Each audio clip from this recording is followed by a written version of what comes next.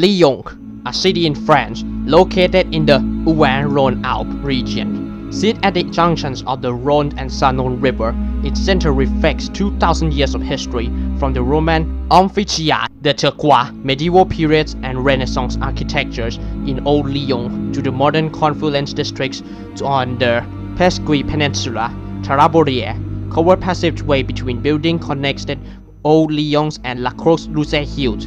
Lyon was the third biggest city in France behind Marseille and Paris. Lyon was known for becoming a significant economic hub during the Renaissance. The city is recognized for its cuisines and gastronomy, as well as historical and architectural landmarks.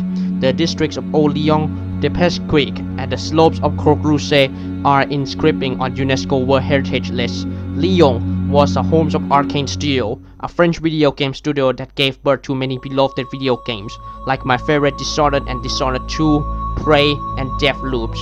But Lyon was infamous for a man who was a Gestapo officer who terrorized the city during the Second World War. Many people compare his atrocity to the notorious cult leader of the 1960s, Charles Manson. His name is Klaus Barbie, also known as the Butcher of Lyon.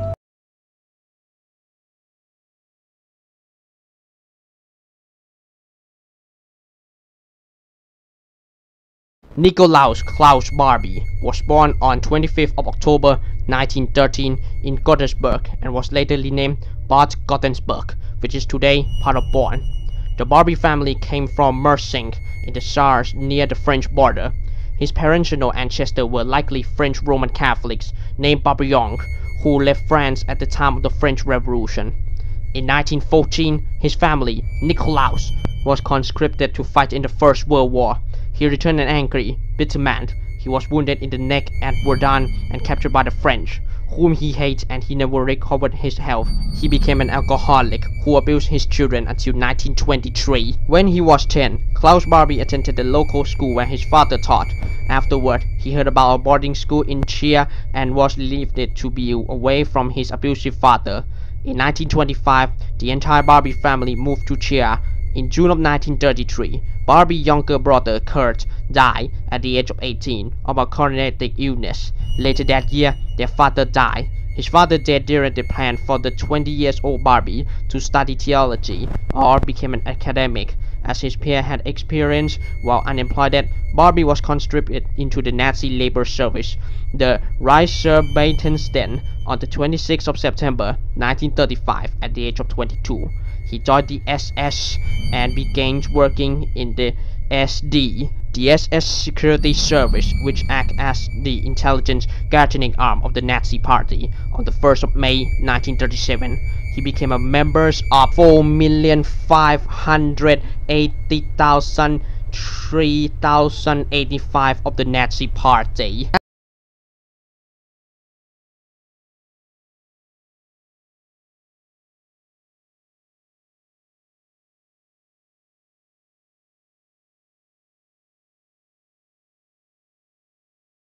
After the German conquest and occupations of Netherlands, Barbie was assigned to Amsterdam.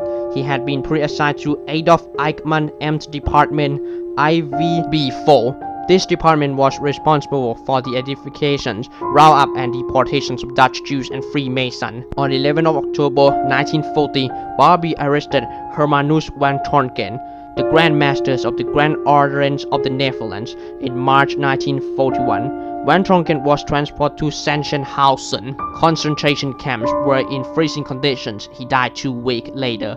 On the 1st of April, Barbie submitted Van Tongeren his daughter, Charlotte, to SD headquarters and informed her that her father was died of an infection in both ears and had been cremated in 1942. He was sent to Dijon, France, in the occupation zone. In November of the same year, at 29, he was assigned to Lyon as the head of the local Gestapo, he established his headquarters at the Hotel Terminus in Lyon, where he tortured adults and child prisoners. He became known as the Butcher of Lyon because one of the victims was a French resistance leader who got violently tortured to death by burning with pubic hair and smashed the head to death with a sledgehammer. According to the survival, Barbie was obsessed with the torture interrogations of French Jews and French resistance members in a sadistic way. One of the notable victims was Jean Moulin, a member of the French resistance who was betrayed by one of the French resistance members that made him captured by Barbie. According to one of the former militia member, quote, I saw Barbie torturing Jean Moulin in a savage way. Barbie waterboarded him, mutilating his penis, and then Barbie stomped Jean Moulin's head with a boot to death. If Klaus Barbie tortured a French Jewish woman or a French female resistance member, he would sexually assault them. One of his favorite methods of torture for French Jewish women or French resistance members is shibari. Shibari was a type of bondage originating from Japan during the Sengoku period but for Barbie version is worse. One of the former female French resistance whose wife Barbie sadistic torture said, Barbie bondage me. He blindfolded me, slapped me, and forced me to do a blowjob. After that, he pushed me to the table. He pulled my panties from my skirt, he used his penis and entered my vagina. Then raped me. That was a testimony from the survivor and the members of the militia about Klaus Barbie atrocity, but his atrocities are worse and worse.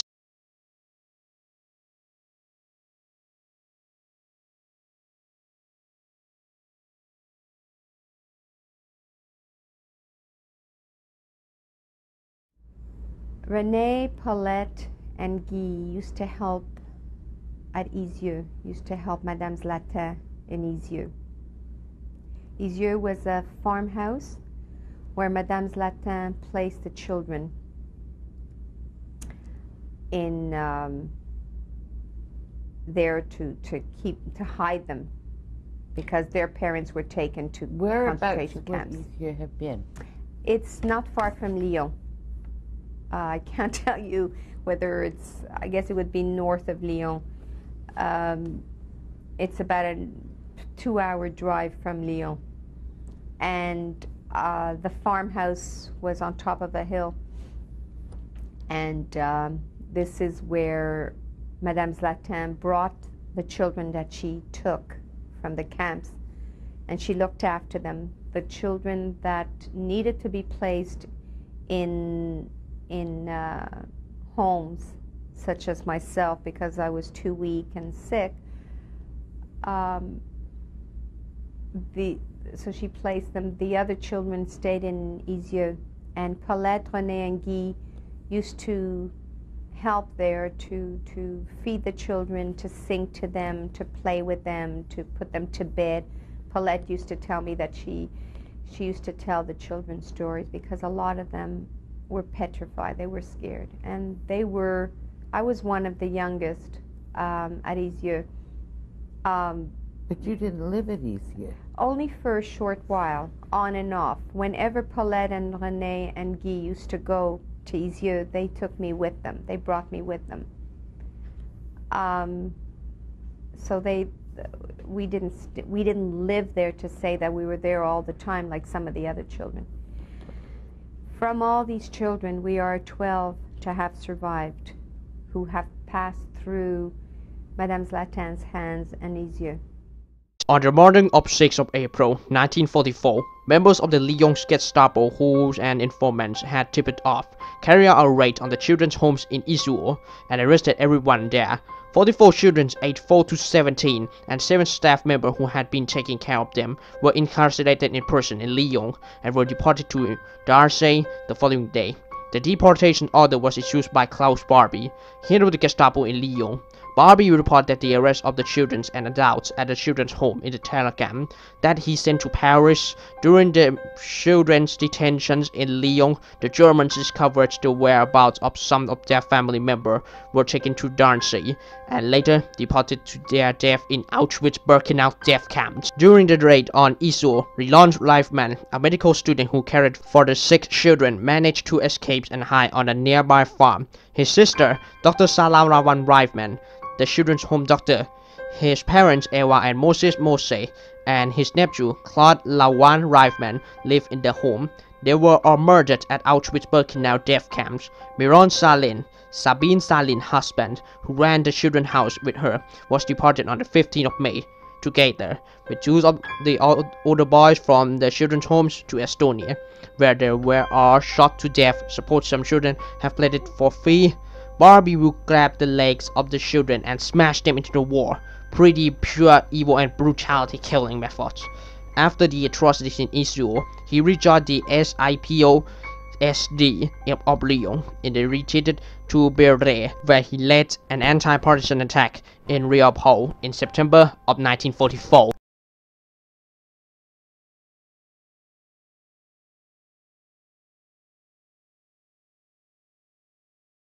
After the Allies liberated France in 1945, Barbie went into hiding and avoided captures and lynchings by the French resistance. In 1947, Barbie was recruited as an agent for the 66th Detachment of the US Army Counterintelligence Corps or CIC, along with the Serbian agents of the Belgrade Special Police and SD Radislav Gurovic. The US used Barbie and other Nazi Party members to further European anti-communist efforts. Speculate they were interested in British interrogation technique, which Barbie had experienced firsthand, and the identities of former SS officers.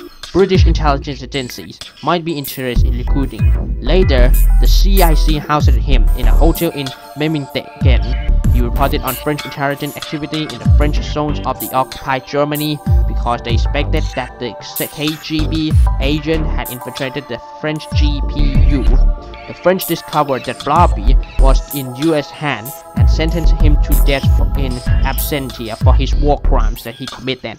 They made a plea to John J. McCloy, US High Commissioner for Germany, to hand him over for execution, but McCloy allegedly refused. In 1949, the Americans used red light to smuggle Barbie and his family to South America.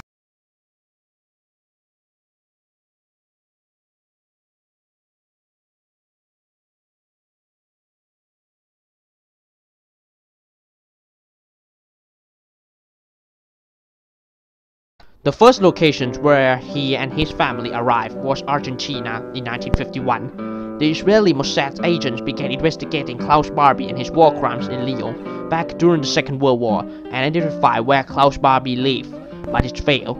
However, he moved to Bolivia where he changed his last name from Barbie to Altman and he lived in Cochabamba working for the Bolivian juntas against the communist insurgency. Nevertheless, Barbie became rich in Bolivia after he sold weapons to the Communist Party of Malay to fight against the British Empire during the Malay emergency and the Biafra militia groups during the Nigerian Civil War.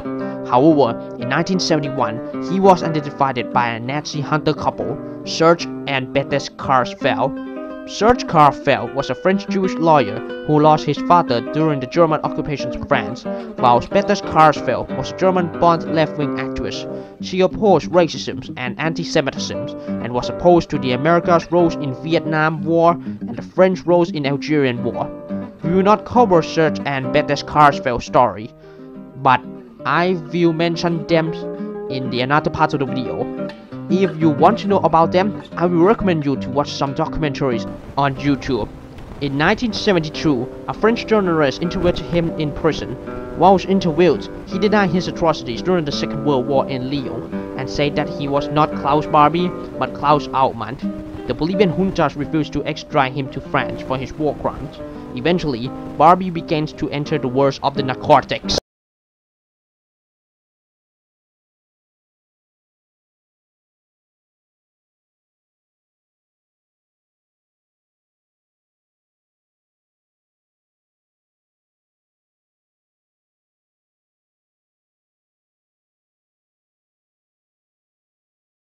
He began working for Roberto Suarez Gomez, who eventually introduced him to the Colombian trafficker. Barbie met with Pablo Escobar and several other high-ranking members of the Medellin cartel in the late 1970s and agreed to arrange for the security of Escobar's raw coca supply from the cultivation until it reached processing plant in Colombia.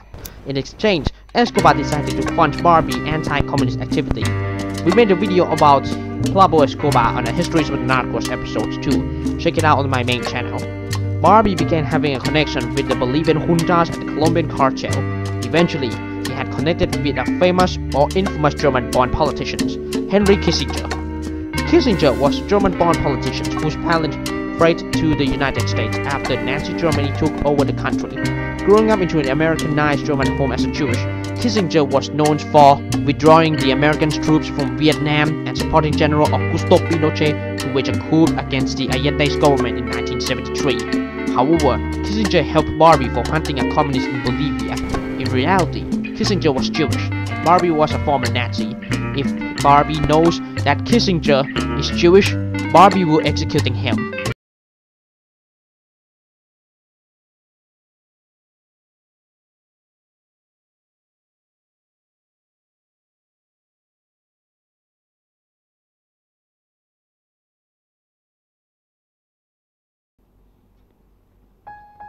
In 1983, the newly elected democratic government of Hernan Siles Zuazo arrested Barbie in La Paz on the pretext of his owning his government $10,000 for good he has supposed to have delivered but did not. A few days later, the government delivered him to France to stand trial shortly after Barbie extradition if evidence emerged that Barbie had worked for the US intelligence in Germany and that US agents may have been instrumental in Barbie's flight to Bolivia to escape prosecution in France. Alan Ryan, director of the Office of Special Investigations of the US Justice Department, recommended to US Attorney General William French Smith that the matter be investigated.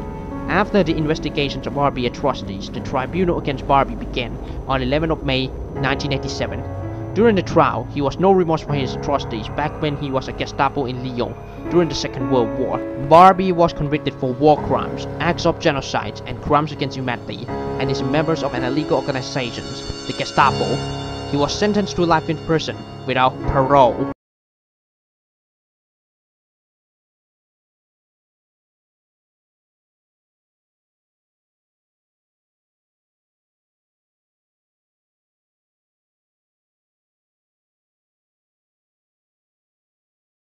Klaus Barbie died from leukemia and spinal and prostate cancer in 1991 at the age of 77. Six years later, Marcus Papon, Barbie's right-hand man, was arrested. He was convicted for his war crimes, genocide, and crimes against humanity. However, Papon was a man who was behind the massacres of the anti-war protester in Paris back in 1961, but he created that incident back in 61. Bethes Klarsfeld receives the Legion of Honor and Serge Klarsfeld receives the Legion of Honor from President François Hollande. Today, the couple fought against racism, sexism, and anti-Semitism in France.